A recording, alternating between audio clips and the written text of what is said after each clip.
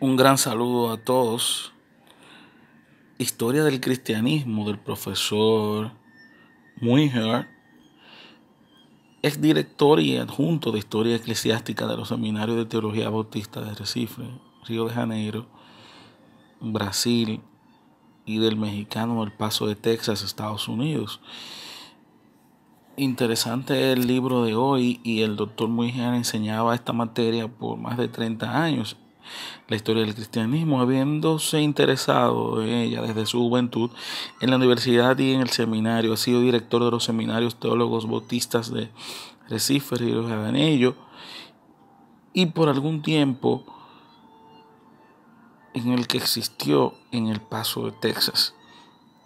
La obra forma parte de una serie de tres tomos que abarcan los movimientos más importantes ocurridos desde el nacimiento de Cristo hasta nuestros días en forma que refleja los pensamientos y creencias e interpreta los actos de quienes consciente o inconscientemente hacen esta historia. El autor ha dedicado casi toda su vida en el estudio de este campo.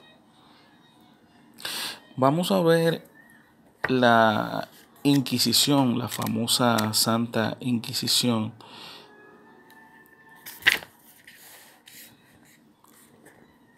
y para el doctor Mujer qué era desde el punto de vista de la historia del cristianismo.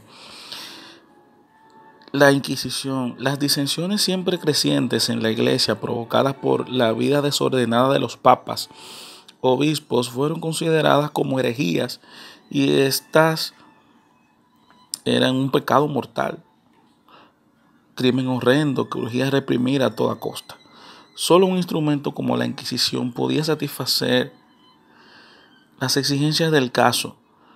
Había sido por mucho tiempo encomendado a los obispos el deber de descubrir a los herejes y procesarlos durante el siglo XII, así como floreció espontáneamente la inmortalidad de la Iglesia Católica, creció también el movimiento de disidencia. Este Estado siempre progresivo necesitaba la represión seria y sistemática, ya por medio de los predicadores o por la fuerza civil. El tercer concilio de Letrán en 1179 decretó la persecución sistemática de los herejes, distribuyendo este trabajo por cartas episcopales. Los propios legos eran obligados bajo juramento a dar todas las informaciones que pudiesen en ese sentido una vez que sospechasen tuvieran la idea de que alguien y los obispos eran obligados a proceder contra los que violaban este juramento bajo pena de excomunión y destierro. El cuarto concilio de Letrán en 1215 decretó que los gobernadores seculares confiscasen los bienes de los herejes y después los, los ejecutasen bajo pena de ser ellos mismos excomulgados, dispuestos de sus cargos y privados de sus saberes. Todos los que protegían a los herejes eran condenados y a los sospechosos les eran dado el plazo de un año para que presentasen pruebas de inocencia y en caso contrario eran condenados como herejes sujetos a las mismas penas. En 1233 la Inquisición fue declarada un departamento especial del gobierno papal y entregada a los dominicanos, dominicanes, con toda la autoridad para que procediesen despiadadamente contra todo aquel que cayese bajo su acción. Los bienes confiscados a los herejes eran repartidos entre los informantes, de ahí que muchos se ofreciesen para ser espías y falsos testigos. El rigor de este tribunal sanguinario era tal que a los infieles acusados no se les permitía siquiera conocer a sus acusadores o falsos testigos. Esto daba lugar a que el oficio de espionaje se hiciese más fácil, visto que era posible acusar a quien quiera que fuese sin el riesgo de ser conocido. El resultado efectivo de la Inquisición en cualquier país dependía del mayor o menor grado de servilismo de los gobernantes seculares al Papa. Los países latinos, Francia, España e Italia, fueron los pueblos donde este fatídico tribunal hizo mayores proezas debido al fanatismo católico de sus gobernantes y súbditos.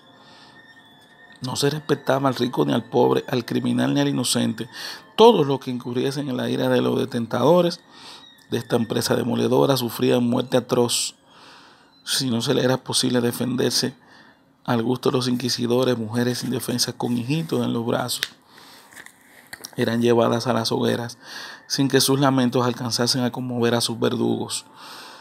No pretendemos registrar todos los actos criminales de esta intervención papal, sino que limitaremos al mismo las narraciones porque dichos crímenes son del dominio universal. Los países donde la Inquisición nunca alcanzó gran perversidad fueron los teutónicos, sin embargo, muchos fueron sacrificados por su causa. La Iglesia Católica Romana jamás se purificará de la mancha de estas tragedias sanguinarias. En cuanto a los efectos de la Inquisición, podemos mencionar todos aquellos que directamente tomaron parte de este trabajo, quedaron de tal modo embrutecidos que nada los conmovía. La Inquisición luchó enérgicamente contra todos los actos de la ley civil, contra toda administración, llegando casi a anular completamente los beneficios y esos efectos del derecho romano cristianizado había producido en los primeros tiempos y los hombres se volvieron fieras. Los sentimientos humanitarios que caracterizan a un pueblo civilizado pasaron a ser de menor importancia. Estimuló e intensificó poderosamente el disentimiento de la jerarquía, que de otro modo no podía dejar de ser considerada como idea anticristiana por aquellos que conocían algo del Evangelio obligó a diversos grupos de cristianos evangélicos a perfeccionar su organización y a emplear métodos secretos de propaganda religiosa.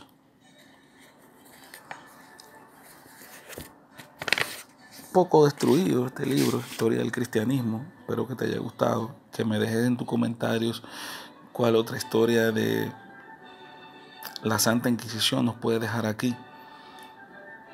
¿Crees tú que existen secuelas de la Santa Inquisición? Y en tu país, ¿cómo fue